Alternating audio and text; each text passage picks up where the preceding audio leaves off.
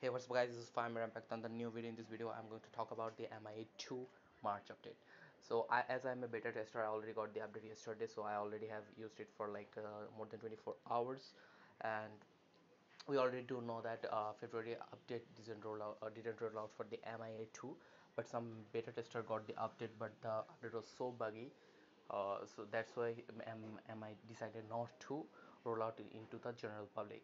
So but now in march we got the march update. Here you can see the, from this screenshot what actually has changed. It there uh, you can see MI u2 will be updated to the android 10 we all we are already in android 10 so basically the name here is actually wrong.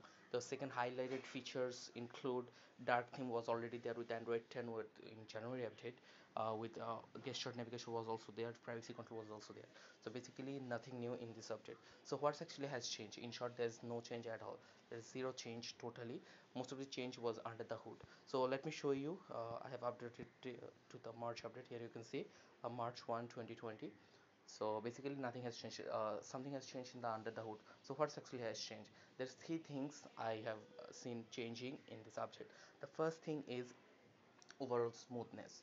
Yeah uh, with android 10 update we get to see a lots of bugginess lag and like it was like so disgusting to use the phone. But with this update Xiaomi has fixed the issue.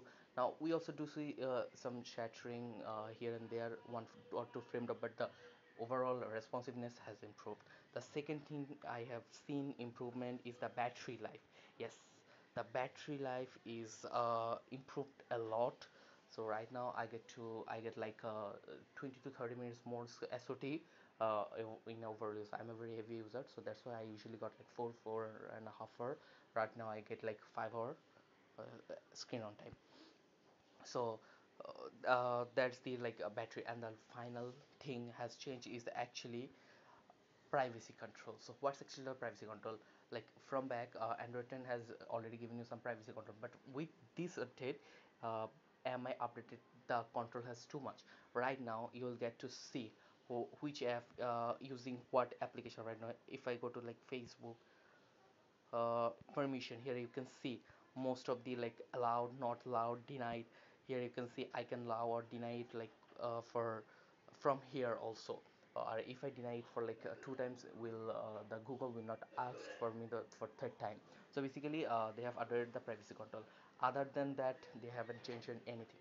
So at the final should you update your phone in short yes you definitely should update your phone. It will increase the overall responsiveness also increase your battery life. If you want your phone to improve battery life or like improve overall smoothness please update your phone and it will help you. Thank you. Thanks for watching. If you think this information was helpful please subscribe